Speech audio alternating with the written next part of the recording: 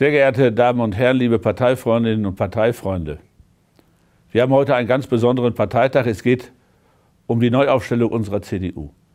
Wir müssen es gemeinsam erreichen, dass unsere CDU wieder eine breite Volkspartei wird. Und dazu gehört auch, dass die CDU eine wählbare Alternative für möglichst viele Menschen ist, die jeden Tag als Facharbeiterin, als Facharbeiter im Handwerk oder in unserem Gesundheitsbereich arbeiten. Ich möchte gerne die Stimme dieser Menschen im Präsidium der CDU bleiben. Es ist wichtig, dass auch deren Erfahrungsfeld in unseren Diskussionen mit einbezogen wird, denn sonst können wir keine Volkspartei sein. Und da geht es natürlich auch um wichtige Themen.